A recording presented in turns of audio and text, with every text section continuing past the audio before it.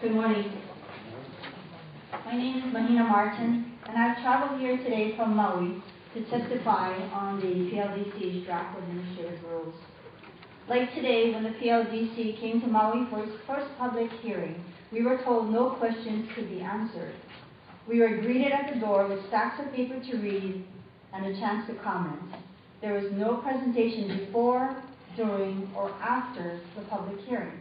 We got very minimal information. I, like many, many others that were there that night, came just out of curiosity, just because we were wondering what is PLDC and what could it possibly do to our county. I was really interested in finding out more about the structure of PLDC, its intentions, its plan, and how its authority would affect public lands and our community's everyday life. I left that night disappointed, frustrated, and deeply disturbed. Disappointed that the public was not a participant in any authentic, well-intended manner, frustrated at the shallow attempt to keep the public involved, and very disturbed by the obvious one-way process.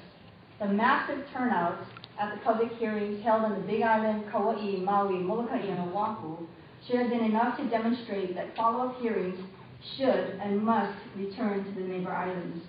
I cannot begin to express the anger of our communities at being left out of direct dialogue with the PLDC through a hearing such as this. Instead, we are told to email, write, mail, fax, or buy a plane ticket to Honolulu to participate.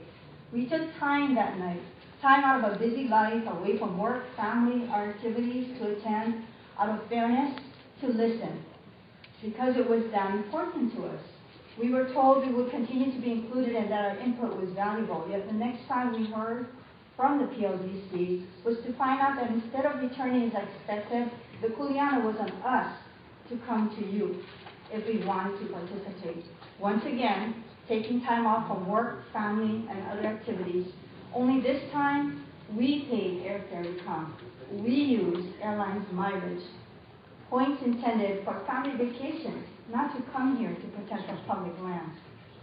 We are expected to trust a new agency that seems to be unable or unwilling to comprehend the level of value the public places on genuine, good faith community engagement. We are expected to accept decisions that will impact our public lands for decades long past an administration or two or three. We are expected to tolerate agreements and contracts made outside of competitive bidding that could affect any of Hawaii's 67 state parks, 20 boat harbors, and approximately 600 miles of public access trails. Having said all that, Relative to these draft administrative rules, I do want to point out the following, and I would like to go over the two minutes, and I hope you grant that since I flew here from Maui. On page 30226, item 7, it talks about community community groups having a summary of comments completed and included in preliminary approval. Why is this optional and not a requirement? And why is it a summary? Page 30226, item 8, there's a description of how land planning activities for the project will be coordinated, coordinated with the county planning departments, but this description should be specific. Is this coordination a telephone call, a meeting, an email? What are the ramifications? Avoid vagueness. In 302-35 item E, the final project proposal says that it shall contain all of the conditions or restrictions, and this is your word, suggested by the county. Why is it not a requirement and what are the ramifications if these conditions are not met? On page 302, 33, item A, it says, quote, an eligible project applicant or project partner shall conduct or participate in at least one public meeting in the county, community, or development plan area to solicit community input on a proposed project. This public meeting shall take place prior to final determination. Why only one?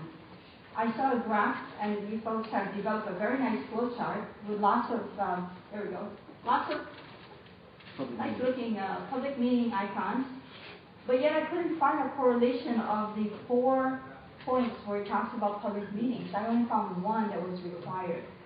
So the picture says this, but the text says something else. So again, I'm unclear. And since there can be no questions asked today, I guess that one might not be answered.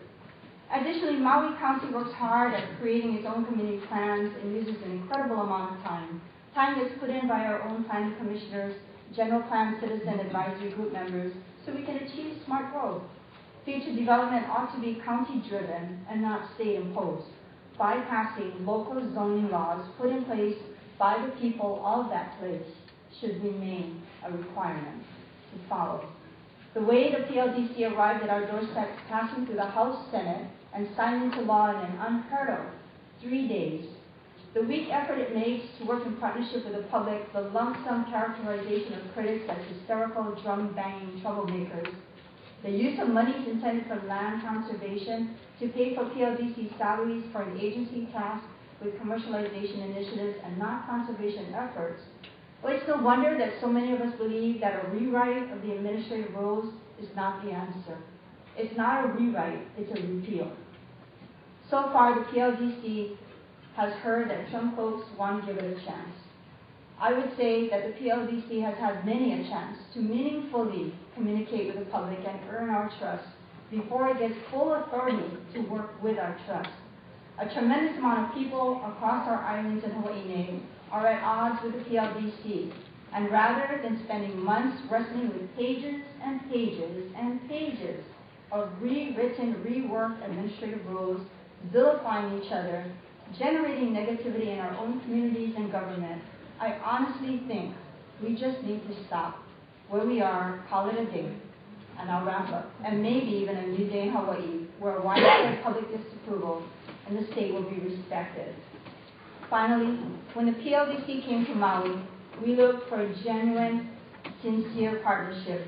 We asked to be kept involved in the loop. We asked that we had that our questions would be answered. We asked that you make this pono, not poho. We asked on Maui that least of all, you not have public hearings just so you can meet a check mark on your list of things to do. We are neighbor islands, not outer islands. There is no state of Honolulu. Neighbor islands should rank just as important as Oahu. Come back. If you continue, you may hear the same message anyway. And again, I ask you to think about not rewriting it or repeating it.